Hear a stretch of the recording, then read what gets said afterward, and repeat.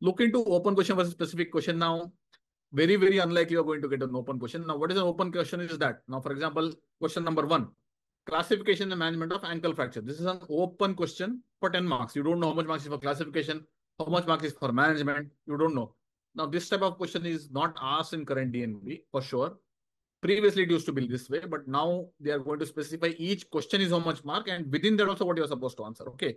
For example, what will be asked now is classify ankle fracture. Same question you see how differently it has been asked over the years. Okay.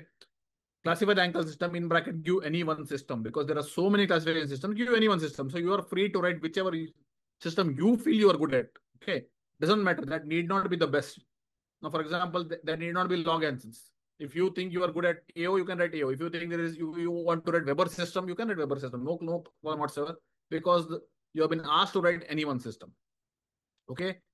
And four marks. Now, mind you, you may know two, three, four systems here. Okay. If you're a good um, and, you, and you feel that, okay, I will write two or three different systems and I will try to impress the examiner, only wasting your time.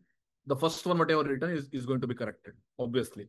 Right. So there's no point in trying to impress the examiner this way by trying to show off how much you know. You have been asked to write one system, you write one system. That's it. And whatever first you write is what is going to be considered for four marks. The next question is for six marks. How will you manage supination external injury? Again, a very, very, very specific question. Again, management includes investigation and treatment. You're going to get X-rays, you're going to get CT scans.